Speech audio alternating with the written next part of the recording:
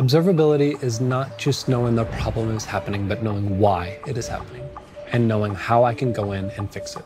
We have about a little over 100 services in production today um, at five different languages. How do you scale that out in an organization? How do you uh, manage having different libraries and all those different systems and being able to rapidly develop in those. Lightstep has been the best way. We've been able to do that. Every service on our platform can use it. And so this allows us to very quickly and very easily identify problems regardless of what language you're programming in or doing anything in. Three years ago, we identified wanting to really put some heavy investment into storefront performance. We wanted to be kind of the industry leading standard of it. That was really important to us because, as anyone in e commerce knows, um, any delay in a storefront render is going to impact conversion for that merchant. For example, if you're having a flash sale, big sale like we've had before on our platform, um, you need inventory data to be exactly up to date. You can't have it be, you know, two minutes late and then someone comes in, orders an item, and then realizes, oh, it's out of stock halfway through the checkout process. It's a really subpar experience for our merchants. We have some very high value merchants on our platform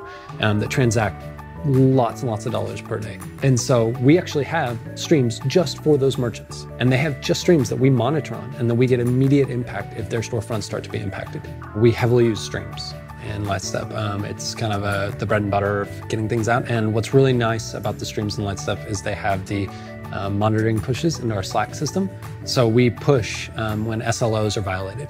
And so that has been really helpful for the storefront teams because they could then compare those SLOs to the prior system and be able to quickly tell what performance bands were and where areas of investment were needed. We look at our Lightstep graphs and you can see then the rendering requests through at least six or seven different services as they fan out. And, you know, we're doing this in parallel, which makes, you know, more traditional tracing systems would struggle with this. Lightstep's been pretty great in that you can then um, kind of pan that out and see all the different uh, streams as they're going through, and then we can see the rendering requests. I need to then see that distributed trace and go, oh, my inventory service over here is all of a sudden taking, you know, 10% longer than it normally does to render this. And oh, that's because the Redis infrastructure, something's going on in the background and we're having some latency impacts. Immediate ability to tell very quickly what's going on and why, and then be able to address that. And you just can't get that without tracing couldn't have really done that on a different system. And Lightstep has given us a lot of visibility and power into being able to roll that out with confidence without knowing, again, that we would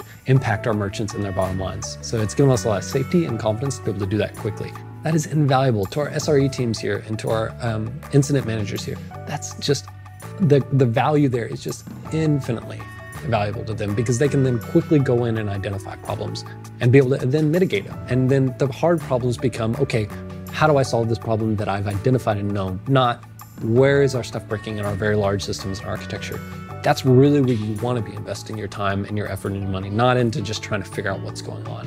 It's really neat to be able to then go on Lightstep and see the whole service graph visually displayed out. That's very helpful because it allows us to very quickly then immediately go to the target problem um, rather than having to piece that through numbers and metrics on a graph. And we really didn't have that visibility, even with our Zipkin infrastructure prior, um, that we have now with Lightstep. Lightstep has been pretty great for us. Um, we really appreciate it. It has really helped us establish a performance-oriented culture here in a very metric-driven way.